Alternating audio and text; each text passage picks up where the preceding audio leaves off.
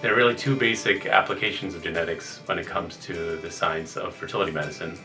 One is the question of whether a parent might be a carrier for a genetic disease.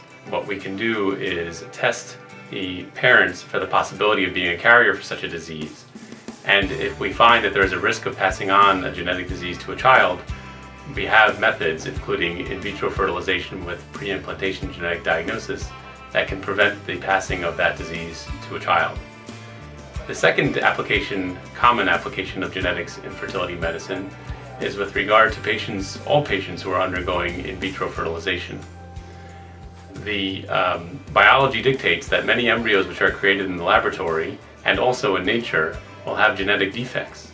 We do have the capability to identify those genetic defects in the laboratory before we transfer those embryos to a woman's uterus. In this way, we can increase the chance that we are transferring healthy embryos and ultimately increase the chance that we achieve a healthy pregnancy by performing the genetic testing before the embryo is transferred.